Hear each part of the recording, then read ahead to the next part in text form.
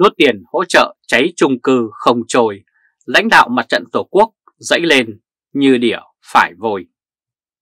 Người dân Việt Nam có câu một miếng khi đói bằng một gói khi no.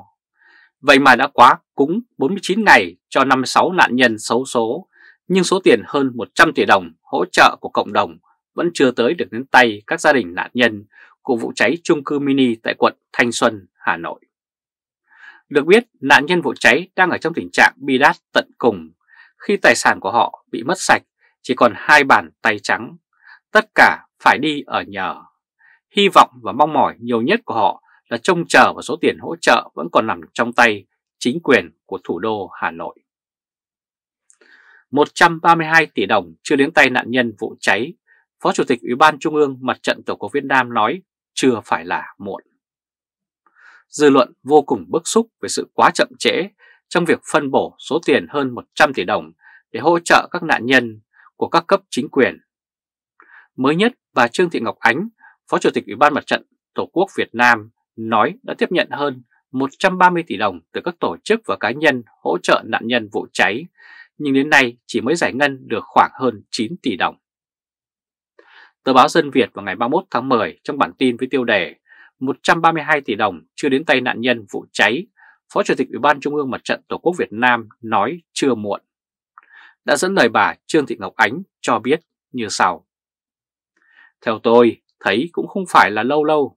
Sự cố xảy ra từ tháng 9, bây giờ cuối tháng 10, cần giả soát kỹ danh sách những người bị ảnh hưởng, phân loại các nhóm để đảm bảo mức hỗ trợ nên với thời gian hơn một tháng không phải là lâu.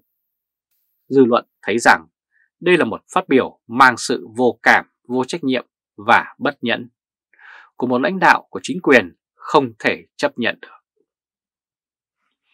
Phó Chủ tịch Ủy ban Trung ương Mặt trận Tổ quốc Việt Nam bà Trương Thị Ngọc Ánh Trước đó, trả lời báo chí về việc này, đại biểu Quốc hội Trương Xuân Cử tại Hà Nội nhìn nhận việc chậm chi tiền hỗ trợ cho các nạn nhân là thiếu trách nhiệm, không thể để số tiền ủng hộ lớn như vậy nhàn rỗi cho được.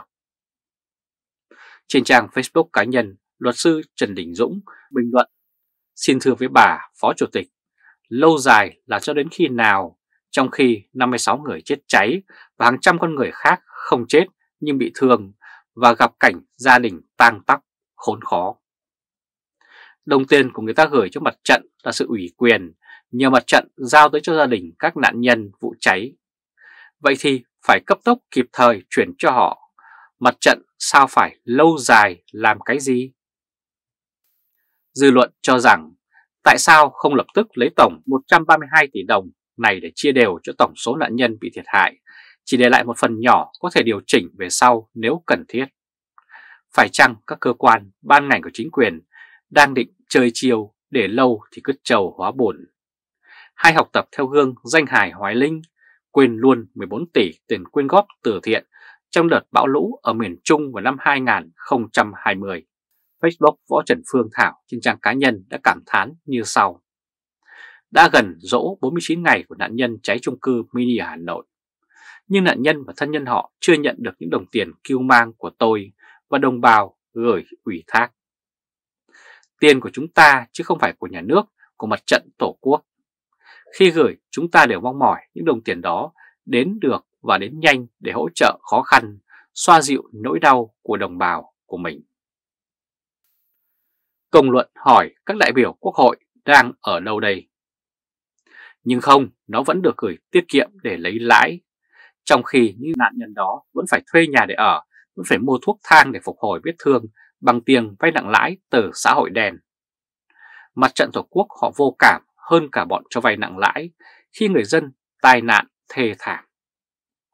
Chốt lại một lũ vô cảm, không tình người, không khác gì bọn nghệ sĩ bẩn, ăn chặn tiền từ thiện, bị phanh phùi. Công luận thấy rằng cái lập luận không phải là lâu nay nghe sao lại quen quen. Vì đây từng là lập luận khiến dư luận dậy sóng vào năm 2021 sau khi phát hiện nghệ sĩ Hoài Linh ngâm số tiền tử thiện 14 tỷ mà người hâm mộ gửi Hoài Linh để chuyển tới đồng bào và nạn nhân lũ lụt sau suốt nửa năm. Bây giờ nghe bà Trương Thị Ngọc Ánh phát biểu mà lại thấy buồn cười. nhưng đây là Phó Chủ tịch Mặt trận Tổ quốc Việt Nam, chứ có phải là anh hề đâu kia chứ. Quý vị và các bạn vừa theo dõi chương trình truyền hình trực tiếp của Thời báo .d với bản tin Nuốt tiền hỗ trợ cháy chung cư không trôi, lãnh đạo mặt trận Tổ quốc dãy như đỉa phải vôi vậy. Quý vị và các bạn hãy chia sẻ video này cho nhiều người biết và bấm nút theo dõi YouTube và Facebook của Thời báo .d để luôn được cập nhật những bản tin mới nhất, nhanh nhất và trung thực nhất. Từ Berlin, Cộng hòa Liên bang Đức chào các bạn và hẹn gặp lại các bạn ở bản tin lần tới. Trung Khoa, Thời báo, chấm đề. Không thể tin, muốn mổ, bệnh nhân phải bỏ tiền mua cả bông băng và kim tiêm. Chuyện muốn mổ, bệnh nhân phải bỏ tiền và ra ngoài mua vật tư y tế từ bông băng, kim tiêm với lý do bệnh viện phải chờ thầu đó là chuyện khó tin, nhưng ở Việt Nam hiện nay là điều phổ biến. Đây không phải là chuyện mới, từ ngày 17 tháng 6 năm 2022, Bộ Y tế của Việt Nam đã khuyến cáo về tình trạng có nhiều bệnh viện địa phương đang thiếu các vật tư y tế và thuốc chữa bệnh, chủ yếu là các loại thông dụng và thuộc thập quyền mua của địa phương. Điều này sẽ gây ảnh hưởng đáng kể đến việc khám chữa bệnh cho người dân. Nguyên nhân được Bộ Y tế đưa ra đó là sau khi được đấu thầu mua sắm phục vụ công tác phòng chống dịch, còn bộc lộ một số khó khăn, vướng mắt và bất cập. Tại Bình Phước, bệnh nhân phải ra ngoài mua từ bông băng kim tiêm do bệnh viện phải chờ thầu.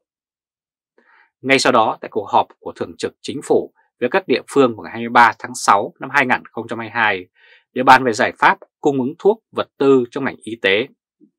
Ông Thủ tướng Việt Nam Phạm Minh Chính cho rằng do nhiều cán bộ sợ không giáo chịu trách nhiệm. Câu chuyện đó tưởng là đã chuyện cũ, sau hơn một năm có lẽ tình trạng sẽ được cải thiện tốt hơn. Nhưng thực tế chuyện này lại đang xảy ra phổ biến, trầm trọng hơn ở rất nhiều bệnh viện trên cả nước. Tờ báo Tuổi Trẻ vào 25 tháng 10 đưa tin về vấn đề này với một cái tít không thể nào thê thảm hơn. Bình Phước, bệnh nhân phải ra ngoài mua từ bông băng, kim tiêm cho bệnh viện phải chờ thầu. Theo tờ báo Tuổi Trẻ đăng tải vào ngày 25 tháng 10, lãnh đạo Bệnh viện Đa khoa tỉnh Bình Phước đã xác nhận bệnh viện đã xảy ra tình trạng thiếu thuốc, thiếu vật y tế và người bệnh phải mua ở bên ngoài. Theo lãnh đạo bệnh viện, sau những sự cố xuất hiện từ dịch COVID-19 cùng với các văn bản quy phạm pháp luật về đấu thầu thay đổi liên tục, dẫn đến việc lúng túng trong quá trình triển khai. Một bộ phận có tâm lý lo ngại, sợ sai, sợ thanh kiểm tra, không dám làm, không dám đấu thầu, mua sắm. Cộng thêm việc một số doanh nghiệp và các nhà cung cấp e ngại do liên quan đến giá cả chưa hợp lý, thủ tục thì phức tạp, khó khăn. Tờ báo Tuổi Trẻ còn cho biết thêm rằng, trước đó nhiều người dân đến khám, điều trị tại Bệnh viện Đa khoa tỉnh Bình Phước bức xúc vì dù có bảo hiểm y tế nhưng vẫn phải ra hiệu thuốc bên ngoài, mua từ bông băng, kim tiềm đến nhiều thứ khác. Trường hợp bệnh nhân Bùi Ngọc Thanh Phương sống tại huyện Bù Đăng được chỉ định mổ do gãy xương đòn. Dù có bảo hiểm y tế, bác sĩ liệt kê một loạt danh mục vật tư tiêu hao như gạc phẫu thuật, bơm, kim tiêm, chỉ, dao mổ, băng keo, mũi phẫu thuật, bộ nẹp vân vân với tổng số tiền hơn 12 triệu đồng. Người nhà bệnh nhân phải tự đi tìm mua vật dụng, vật tư y tế theo yêu cầu của bác sĩ là việc bình thường hiện nay. Vấn đề này còn đổ gánh nặng lên về chi phí y tế đến bệnh nhân khi họ phải bỏ tiền túi ra để mua vật tư y tế theo yêu cầu của bác sĩ. Nhưng trong hợp đồng bảo hiểm y tế không có quy định thanh toán các khoản chi ngoài bệnh viện, đó là chưa kể tới chất lượng thuốc mua từ bên ngoài có đảm bảo chất lượng hay không. Vấn nạn tham nhũng trong ngành y tế Việt Nam hiện nay là hết sức trầm trọng, với nhiều vụ việc như nhập thuốc giả, thổi giá trang thiết bị, sử dụng sai mục đích quỹ bảo hiểm y tế vân vân. Đặc biệt trong đại dịch Covid-19, tình trạng lũng đoạn và tham nhũng trắng trợn bất chấp sinh mạng người dân của giới chức y tế cấp cao, việc hàng loạt các quan chức y tế từ trung ương đến các địa phương đã bị khởi tố bắt giam vì những sai phạm liên quan đến việc đấu thầu mua sắm vật tư y tế, thuốc men vân Đặc biệt là đợt dịch Covid-19 trong 2 năm 2020 và 2021 đã cho thấy điều đó. Một bác sĩ ở Thủ Đức trao đổi với tờ Thể báo chấm với điều kiện ẩn danh cho biết lý do nguyên nhân sâu xa như sau. Đó là do trước đây người ta làm bậy, bây giờ bị thổi còi nên họ chẳng dám làm nữa. Khi không nâng giá để kiếm lời được nữa thì họ mặc kệ rồi lấy lý do vì sợ trách nhiệm, sợ bị kỷ luật mà thôi. Bộ trưởng Bộ Y tế Đào Hồng Lan, một người không hề có chuyên môn về y tế. Cũng xin nhắc lại vụ đại án Việt Á đã gây chấn động trong ngành y tế của Việt Nam. Đó là một vụ móc ngoặc vô tiền khoáng hậu. Công ty Việt Á đã thổi giá bộ xét nghiệm COVID-19 lên gấp rất nhiều lần và chi hồng rất lớn cho các cá nhân, đơn vị đã đặt mua mặt hàng này của công ty trong thời gian đại dịch. Đã có khoảng 70 quan chức của Bộ Y tế, Bộ Khoa học Công nghệ và lãnh đạo của các Trung tâm Kiểm soát Dịch bệnh CDC vân vân cùng hàng loạt lãnh đạo các bệnh viện trên cả nước đã bị khởi tố, bắt giam do dính líu đến đại án Việt Á. Trong đó có hai ủy viên Trung ương Đảng là cựu Bộ trưởng Bộ Y tế ông Nguyễn Thành Long và cựu Bộ trưởng Bộ Khoa học và Công nghệ kiêm cựu Chủ tịch thành phố Hà Nội ông Chu Ngọc Anh. Quý vị và các bạn vừa theo dõi chương trình truyền hình trực tiếp của Thời báo chấm với bản tin Không thể tin, muốn mổ bệnh nhân phải bỏ tiền mua cả bông băng, kim tiềm. Quý vị và các bạn hãy chia sẻ video này cho nhiều người biết và bấm nút theo dõi YouTube và Facebook của Thời báo chấm để luôn được cập nhật những bản tin mới nhất, nhanh nhất và trung thực nhất. Từ Berlin, Cộng hòa Liên bang Đức chào các bạn và hẹn gặp lại các bạn ở bản tin lần tới. Trung Khoa, Thời báo, chấm đề